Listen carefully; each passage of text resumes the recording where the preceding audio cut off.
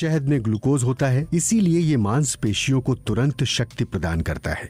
कुछ चिकित्सक तो ये भी कहते हैं कि शहद के सेवन से हृदय और फेफड़े मज़बूत होते हैं, और इसका सेवन मनुष्य को टीबी से बचाता है।